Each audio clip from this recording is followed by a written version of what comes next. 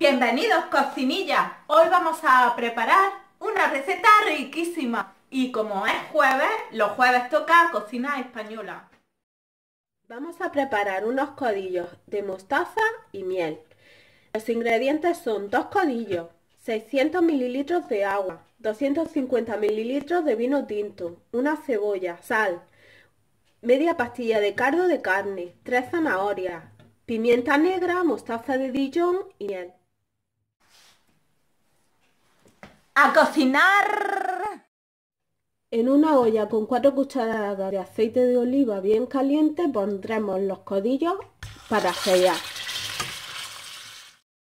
Ya sellado con las dos caras, ahora los retiramos. En el mismo aceite ponemos las zanahorias, la cebolla. Añadimos un poquito de pimienta molida. Vamos a dejar que sofría 5 minutillos. Ha pasado 5 minutos y vamos a añadirle los codillos. Le agregamos el agua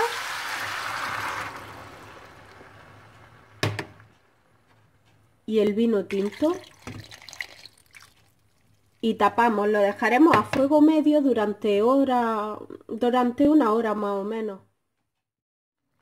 Han pasado 10 minutos desde que le echamos el agua y el vino. Le vamos a poner la, media pastilla de carne de carne, dos cucharadas de mostaza de Dijon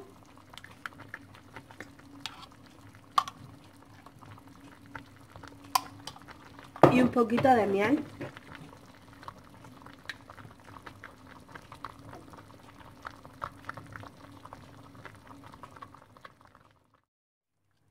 Pues ha pasado una hora y lo he probado y para mi gusto le falta un poquito de miel. Eso ya vosotros lo iréis probando y, le iréis añadiendo más o menos.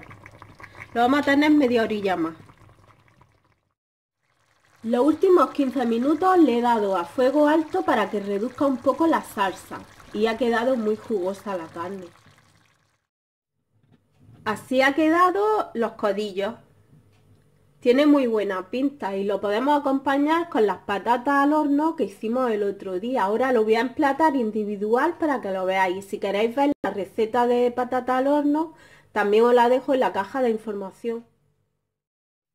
Tanto si habéis hecho las patatas al horno como los codillos, esta es una manera de emplatar individual, es una idea que os doy. Si queréis ver las patatas o el codillo, pues mi canal lo podéis ver. Si te ha gustado esta receta, suscríbete a mi canal, dale a like y comparte. Aquí abajo puedes pinchar para suscribirte, activa la campanita, que no se te olvide para que te recuerde todas las recetas que voy subiendo. Y aquí para ver recetas, más recetas de mi canal.